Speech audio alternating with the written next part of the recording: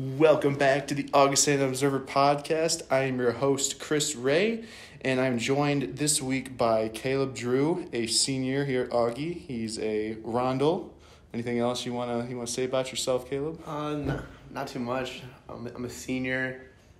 Pretty sad to graduate soon, but it's time, unfortunately. It's time to to go off into the world and do do what we gotta do. Yeah.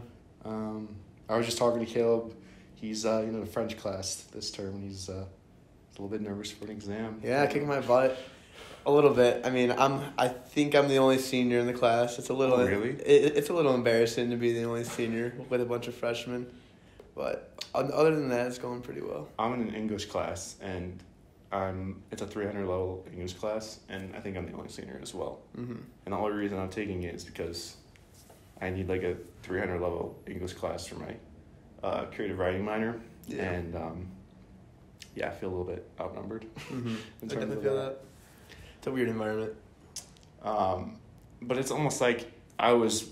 I look at it when I was an underclassman in classes, and you run into somebody, and you'd like, oh, what, like, what grade are you in? They're like, or what year are you? And they'd say they're a senior. It's like you're looking at it from a different perspective now. Right. Right. Mm-hmm. Um, well, uh, idea for the uh, podcast this week is we're going to talk about basketball. We both both played on the uh, club team here at Augie. Um, our freshman and sophomore year. Yeah, I mean, I yeah, freshman sophomore year, I Yeah. and then uh, junior and senior year kind of twinkled like twinkled out because of COVID. COVID. Classes got harder. It's hard to dedicate that much Yeah. time to something that you, with all the traveling and stuff. So Yeah, Caleb and I both shared that. Um, I think passion for for sports, for um, basketball in particular, um, and um, you know that experience on the club team. I think any any sport club or um, you know organized sport here at Augustana offers you an opportunity to um, compete at your own individual level, compete with other peers at your you know age, at your age group, and I think what those intramurals, those club sports allow for students to do if you don't really want to. Uh, you know, compete at that varsity level, that collegiate level, you're still able to compete and you know grow on a uh, you know individual level, and you know encourage your your teammates, your you know people who are you know you're going to school with, to encourage them to compete and grow, you know, at a different level than you know the varsity level. You know what I mean? Yeah, and then al- al- also just like coming to Augustana, like as like a freshman, it kind of felt like like like not being a part of a um like a sports team like as a freshman i feel like you're kind of like socially at like kind of a disadvantage so like joining club basketball was a way for me to meet more people where i know i have something in common which uh, which is playing basketball. And that was a way for to express myself and make friends along the way.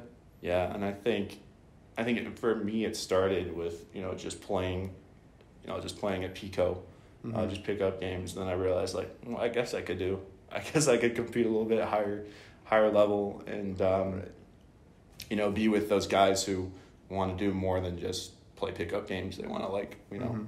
go to practices, you know, compete in games, and um, it's a little less less of a um, commitment than say like a, a varsity varsity level sport, but you're still putting in the time, you're still putting in the effort, and everybody's you know on that same. Um, everyone's in that same mindset of let's you know, let's get some wins, let's let's compete together, kind of thing. Mm-hmm. And then like, too like with, uh, like a part of me w- uh, wishes that Augie would have done this earlier, but like they like, did you hear that they were like making o- o- outdoor courts outside of Westy? Yeah, I did hear that this year. So like that's how, like always been a struggle to find outdoor courts around here. Like you can go, like just hop in your car, but e- even freshman year I didn't have a car here, so it's pretty cool that they're making the courts outside. But yeah, like thinking, relating uh, Augie sports, Augie club sports. I am. Um, both Caleb and I are uh, basketball fans in general, and we both our respective teams are, are the Bulls right now, the Chicago Bulls. I mean, like an, an advantage of like coming to, Augie, at least like being a Bulls fan, is that the majority of people here, I feel like, are uh, are Bulls fans if they are into basketball at all. Yeah. So like that's at least nice. So we're like, if you're trying to branch out and meet new people, like common denominator could be if you if you like basketball, they're almost guaranteed a Bulls fan too. So Yeah, and I feel like if you were a Bulls fan up until this point, like our senior year, you were kind of like in the dark Bulls fans because we Yeah. haven't really been relevant to this Absolutely. point. Um, I don't really remember like club club wise or um, even myself I am wise like even talking about like NBA or anything at that point. yeah, and I think the conversations were pretty l- limited to like they are trash. They Yeah. are they are. I mean, they weren't fun to watch at all. No, no. Like like hurt my mental health watching the Bulls for a while. I remember our freshman year, like, um, you would say you were gonna watch like a Bulls game, and I was like, oh yeah, that's cool. Yeah. and I was a Bulls fan back then, but I just didn't. I wasn't like watching all their games. Like it just wasn't. Whereas this year, I think I've watched every single game. I don't. I missed maybe one. Mm-hmm. Um, and I think Chicago being that, uh, you know, it's a basketball city, and when basketball is, when but the Bulls are good, like I feel like Chicago is a way more positive city to live in.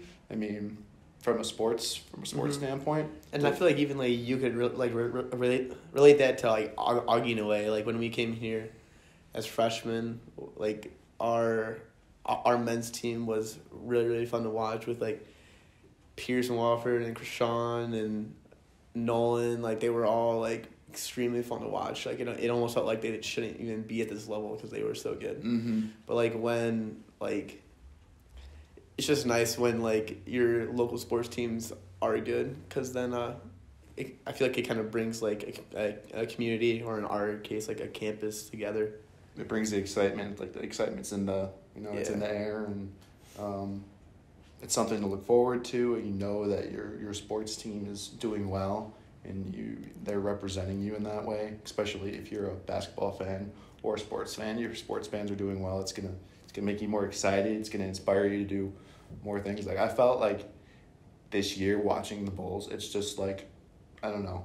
It's been like this missing void Mhm. inside of me, like being able to watch the Bulls again. Because I was like a huge, like the Derrick, Derrick Rose days, and Mhm. um, that was like that was it. I was watching Bulls all the time, and I feel like that missing that missing piece of me is back again. Mhm. Um, but yeah, what the, what you're saying about on a college campus, if your sports teams are doing well, if you have that connection with, uh, you, you know, the peers and the teammates on those teams, um, it's gonna make you, you know, feel better about your school. Uh, It's gonna make you feel better about the overall, um, you know, aura of the, the school, and then, you know Mhm. they're making, they're doing, they're gonna make you proud, kind of a thing. Yeah, I, I mean, I, I feel like it's always fun to like see like people you know and people you, you recognize, especially all you like you uh, like, like people on the team like you see like walking around like like you know them like you're friends with them and then I don't know they go they, they go on ball occasionally.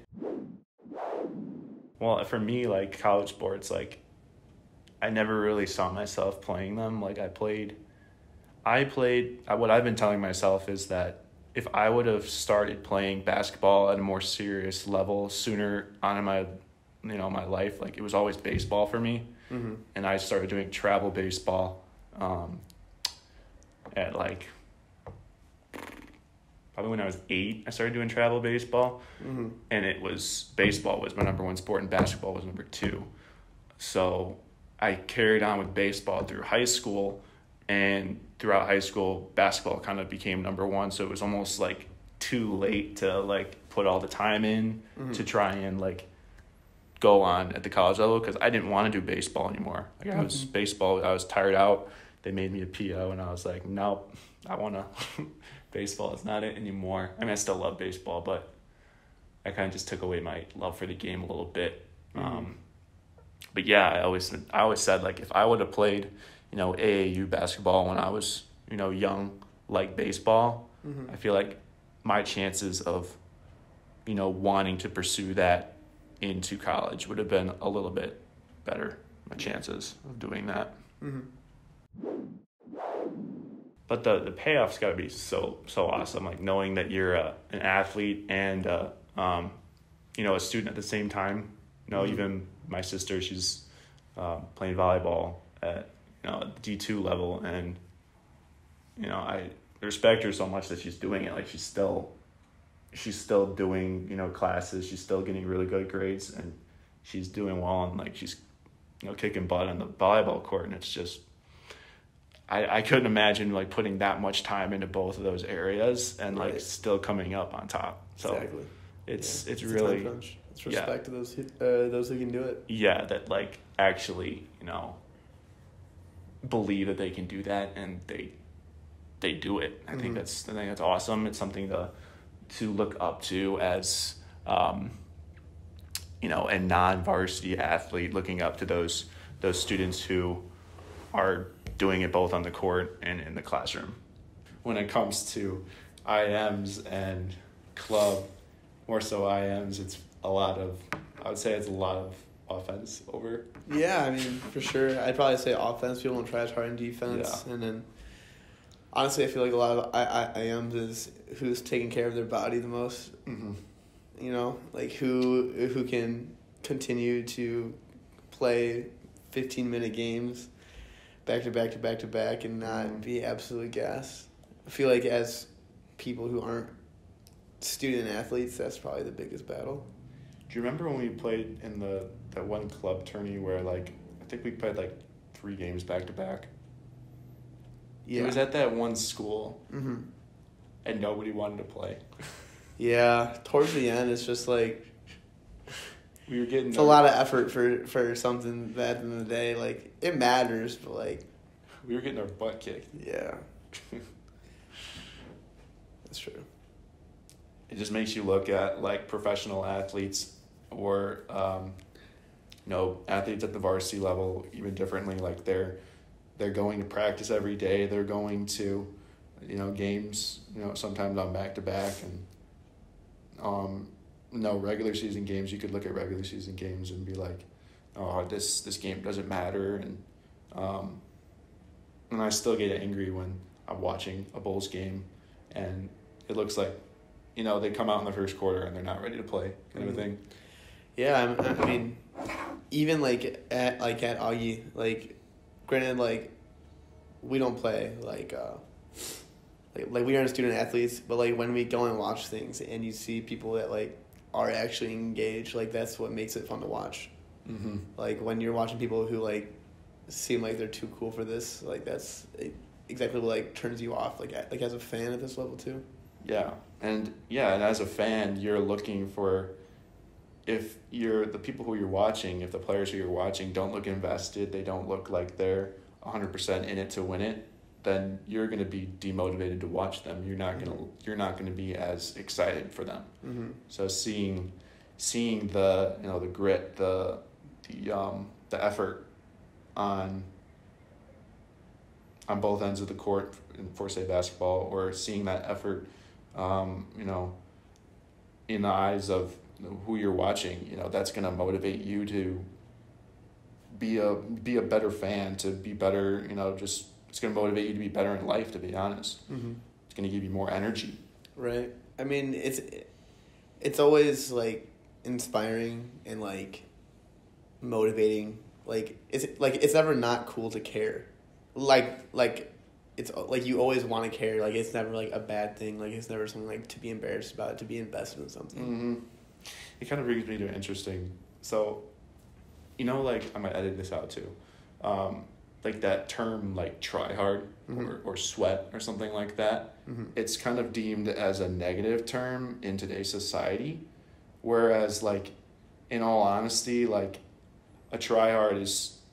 You're looking at somebody. If you say somebody's a try hard, you're like kind of saying like, oh, they don't really need to be trying at this point. So I'm just gonna like write them off and say they're a tryhard because I don't want to do like the work to get to that point. Right.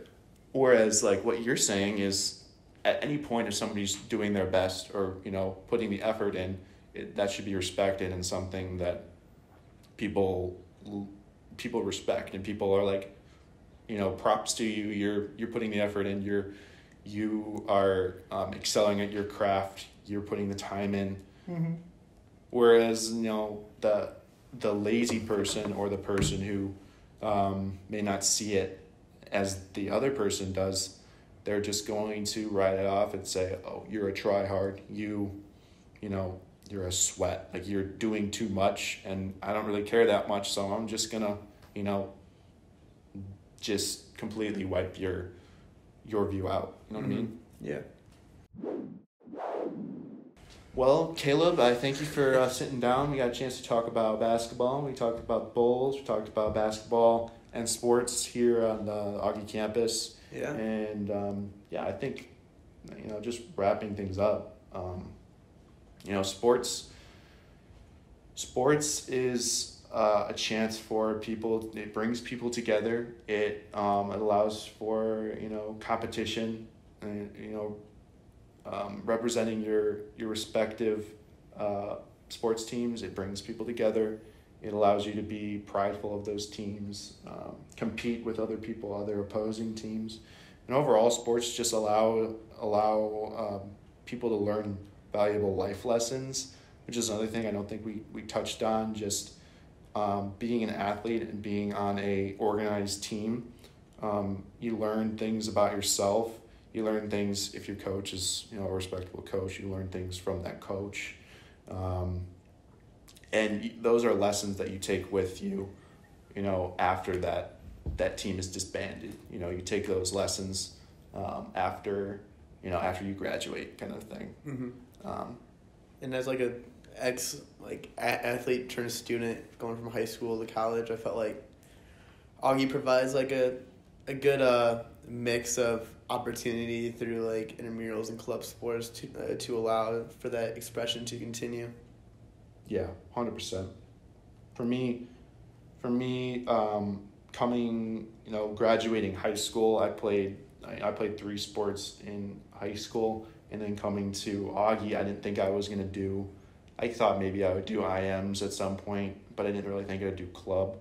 But what I appreciated about doing club was that everybody there was competing at a little bit higher level than what IMs is, and it was giving me that chance to push myself a little bit further than a little bit further than I am, a little bit less than say varsity sports, but everybody was. uh, We talked about this before. Everybody was in it to you know compete at that high level, and you learn you learn about yourself. You learn about what it takes to motivate yourself to play, and yeah, just certain life lessons that you take with you after you know after those teams disband. Yeah. Well, this will be it for today's this week's episode for the Observer podcast. Thank you for listening, and I will see you on the next episode.